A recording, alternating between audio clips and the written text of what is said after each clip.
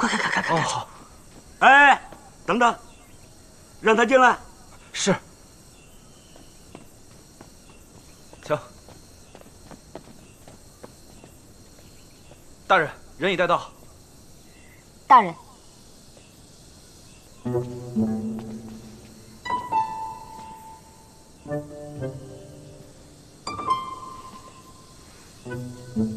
你有什么办法求雨啊？啊？大人，您不用求雨了。今日是七月十一，晚间会天降大雪，京都之困立时可解。下雪？七月？嗯。拖出去，拖出去，走。大人，您相信我，此天下甚为罕见，百年难得一遇。滚滚滚滚滚滚滚！大人，快滚！大人，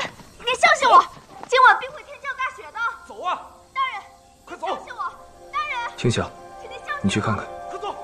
是。请您相信我，今晚必会天降大雪。大人，何人喧哗扰攘？打扰殿下写青词祈福。哟，青小姑娘啊。莫怪，这个人胡说八道，我正立马把他给撵出去呢。快快快！哎，姑娘，请你相信我，今晚必定会天降大雪，小人愿以项上人头担保。太史令大人，你看他如此笃定，不如多留半日，看看是否真如其所言。这怎么可能呢？姑娘。是冯熙冯大人举荐小人来的。他说太史局可以收容小人。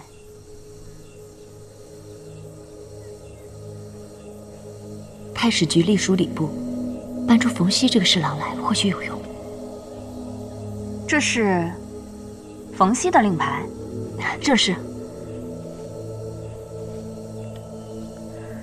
太史局庙小，容不下你这样的才高之人。来人，请这位先生出去。走，大人，你相信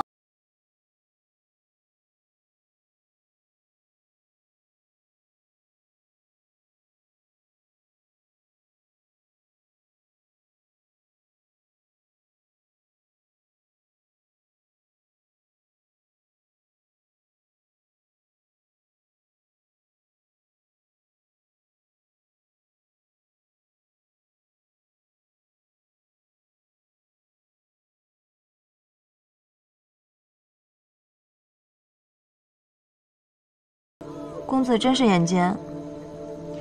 不是我眼尖，如今京都大旱，也只有异乡人会出门带伞了。所谓未雨绸缪，纵使此刻明月高悬，安知下一刻不会有狂风雨骤？嗯，此话颇有哲理，倒是令人深思。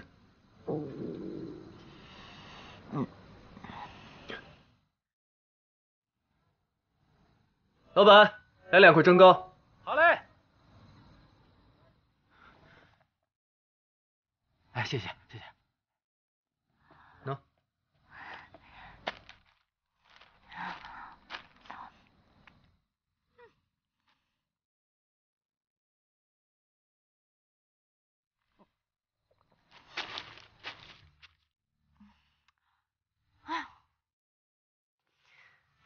大恩不言谢。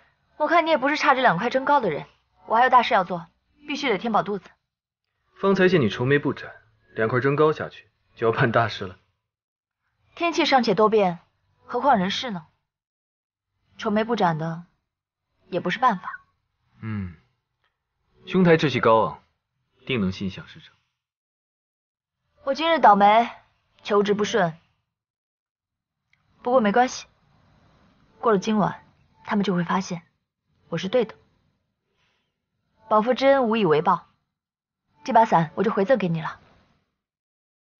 不必了，拿着吧，马上就要下雪了。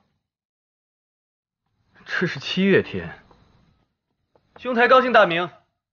我若还伞，去何处寻你啊？我叫冬月。风前月下，冬青花开，不如叫你冬月。算了，就叫冬月吧。你我萍水相逢，后会无期。这把伞不用还了。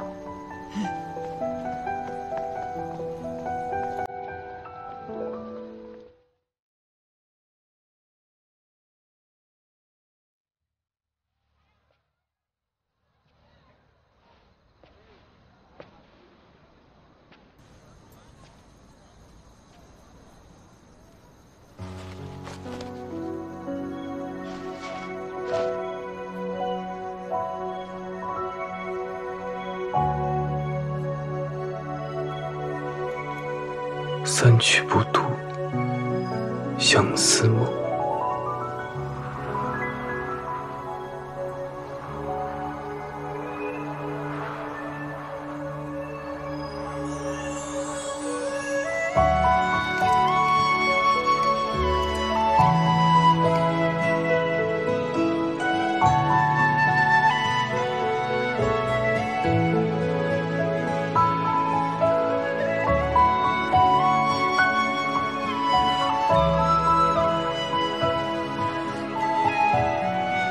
外面何时喧哗？碰到个妖言惑众的，说今夜有大雪。居然有如此神通之人！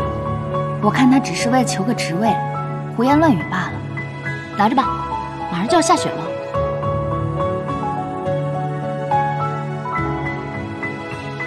是他。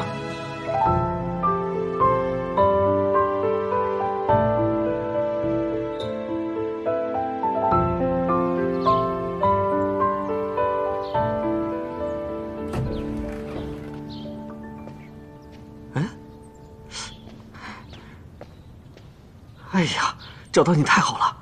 哎，醒醒，醒醒！兄弟，你就在这里睡了一宿啊？你是不记得我了？我们昨天见过，我叫卢川，是太史局的司隶。给你的任职文书。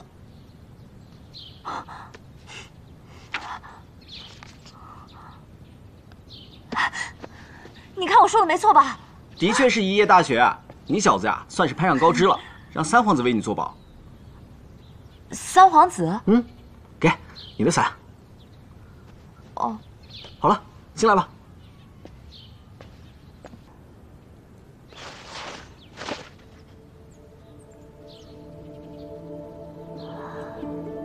一舟清唱，月晚生。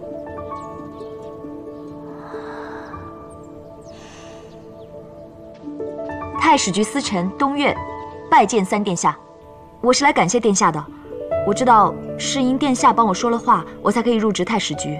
昨日不知道您就是三皇子，所以有些失礼。你是说肚子饿了算是失礼吗？难道知道我是皇子，你的肚子就不饿了？那还是要饿的。七月飞雪听起来是个奇。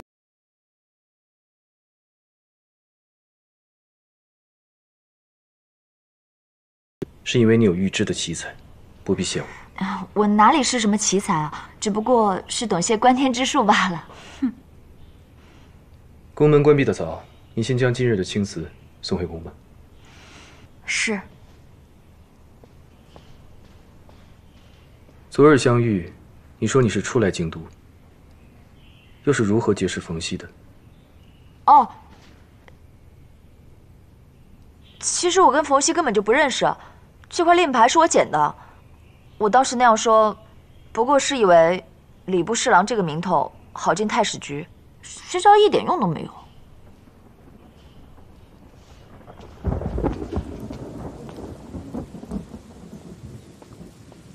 我去叫随行的人给三殿下备马车。